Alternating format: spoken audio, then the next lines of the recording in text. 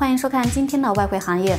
一传言称英国脱公投可能推迟，黄金跌破一千三百大关。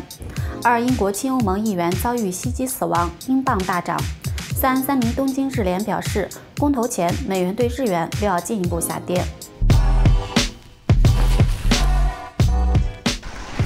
大家好，今天是六月十七日，星期五，欢迎回到新一期的外汇行业。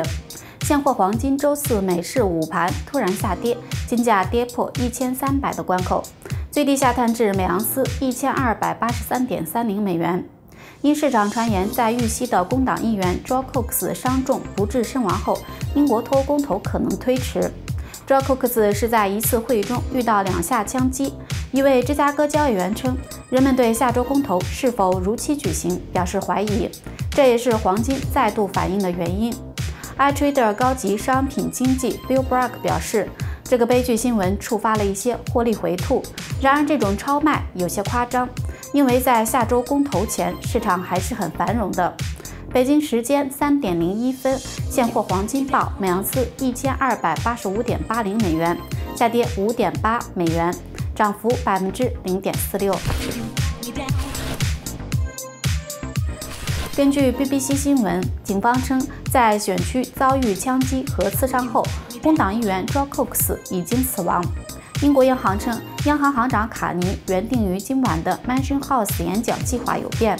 议员 Joe Cox 遇袭案之后，卡尼将发表简短的演讲。该事件发生后，股市、英镑出现小波上涨，市场寄望于该事件或会令英国公投延迟。英镑对美元由跌转涨。较报道发布前波动约两百点，现交投于一点四二零零上方。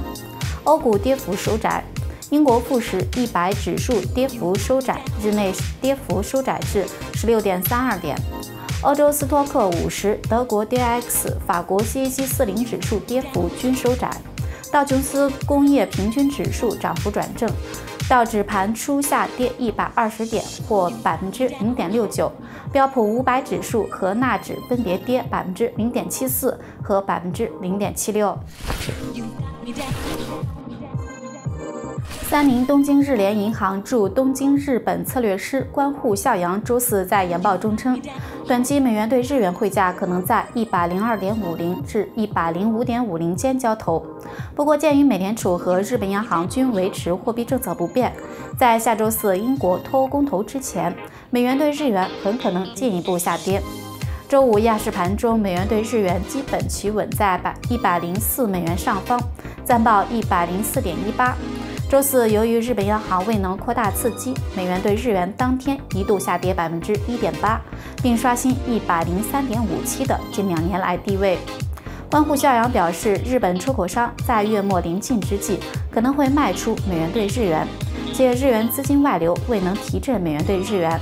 他补充道，鉴于日本账户可能会审慎管理流动性头寸和风险，在英国脱欧公投前，日元抛盘可能会相当有限。本节目由杜高斯贝出品，感谢您的收看。